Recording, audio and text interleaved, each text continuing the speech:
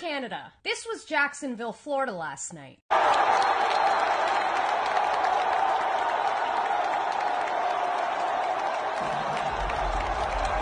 I think it's time you peeked outside of your igloos and admitted you've been bamboozled. Because your country is being run by a man following in his famous father's footsteps. I'm just fucking with you. It's a conspiracy theory that Trudeau is Fidel Castro's son. And there's absolutely no evidence that he's a communist at heart. There's a level of, of uh, admiration I actually have for China.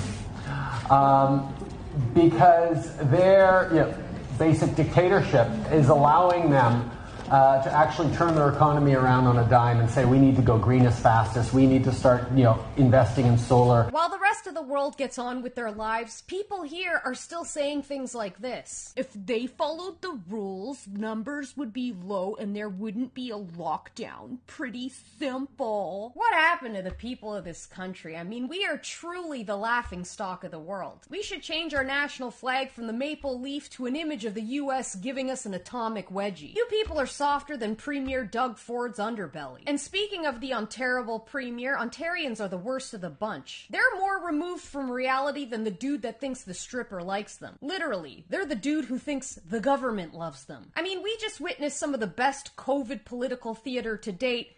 And the majority of the country thinks we just had a huge win. For those of you who don't know, our government threatened us with the implementation of a police state, and then after some imaginary backlash from the citizens, took it back and instead implemented paid sick leave. And the hashtag paid sick leave saves lives has taken off on all the socials. Paid sick leave saves lives? From what? Responsibility? Yeah, because that's what we need. More incentives for people to sit on their ass at home. This is an initiative that just so happens to be pushed by the same influencer shills who were supporting lockdowns and the decimation of small businesses all along. And of course, they'll pay people to go out and get tested, which will inevitably increase the case counts and keep this cycle going on indefinitely. As long as you keep handing out free money, these dumb fucks will be satisfied. So tell me, Canada,